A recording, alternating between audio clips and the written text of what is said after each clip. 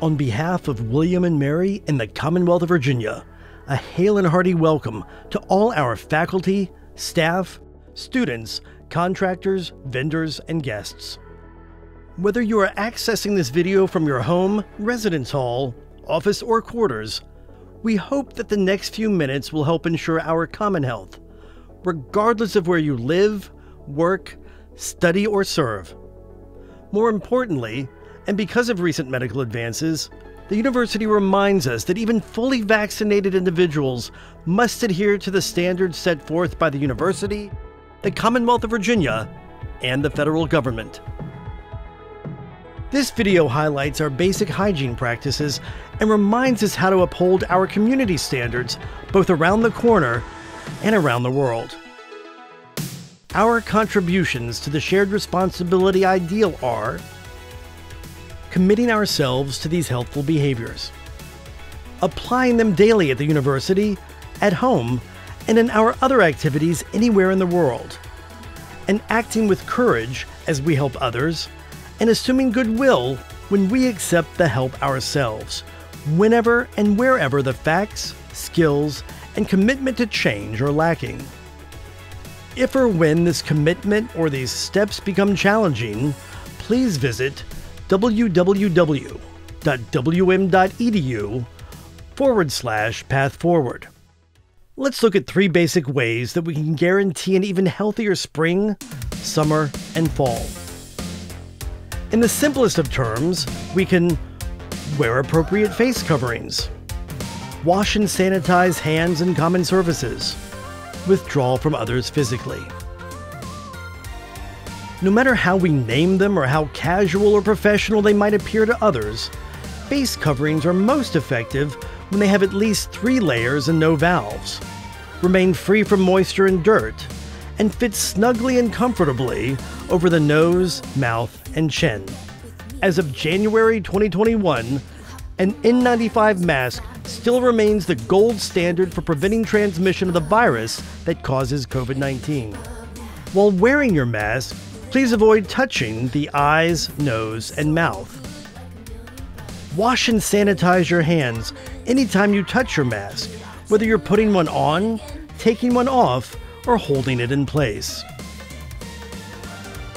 After removing your mask, store it in a plastic bag that you can sanitize if you plan to rewear your mask that same day. Wash cloth masks nightly if you wear them often throughout the day. Medical masks can go in a suitable trash bin.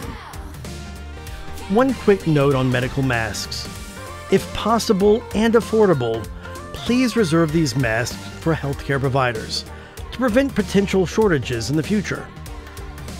If you need to cough or sneeze, remove your mask and cover your mouth and nose with a tissue. If a tissue is not available, please cough or sneeze into the crook of your elbow. Always wash and sanitize your hands after you cough or sneeze. Washing removes dirt and grime, while sanitizing removes harmful microbes that can make us ill. Hand washing, when we do it properly, can help curb the spread of the virus that causes COVID 19. To do so effectively, please remove all rings and jewelry if you feel that the area around you is secure. Wet your hands with safe running water of any temperature and then turn off the tap. Apply soap to your hands. Any soap will do as long as you are not allergic to it. Lather your hands by rubbing them together, making sure that you clean the backs of your hands, the areas between your fingers, and under your nails.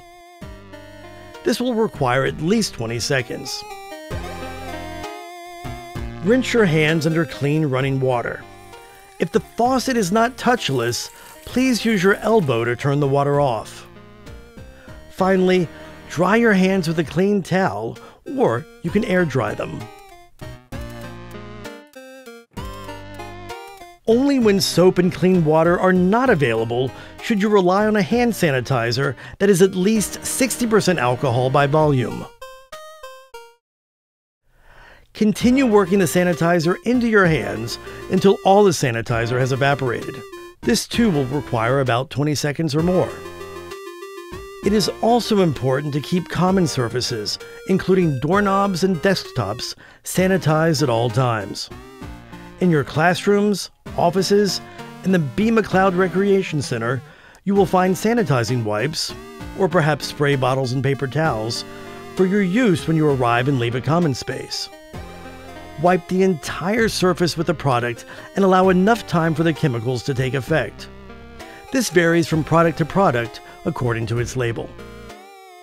If there is no sanitizer available, or in an environment where specific cleaning and sanitizing protocols exist, please notify or warn others.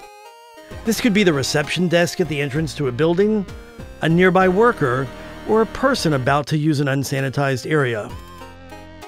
For instance, in campus dining, you can turn the table card to red to signify to others that the vacated area still needs to be cleaned and sanitized. As mentioned in previous videos, cleaning computer keyboards can be difficult and in some cases technologically unwise. So the university recommends silicone keypad covers to make sanitizing simpler and safer for your device. Staying connected socially is important for your emotional well being during the pandemic, and staying apart physically stops germs from spreading to you or from you. The World Health Organization encourages us to be aware of the most harmful environmental conditions to avoid, namely those that are close, closed, and crowded.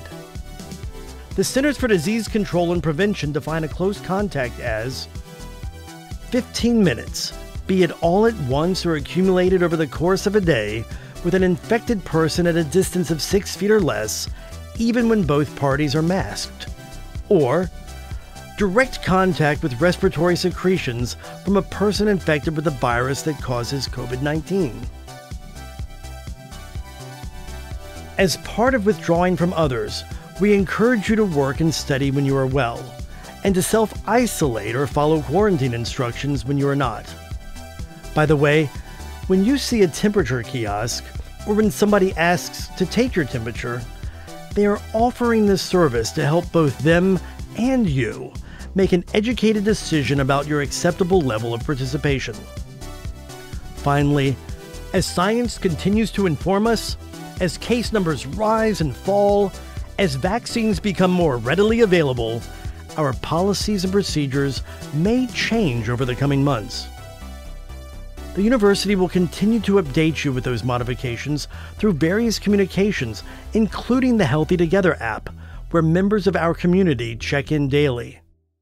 Regardless of where we are in the world right now, various cultures view spring as a time of new growth and celebration just as our dashboard shows how successful our commitment to community responsibility has been.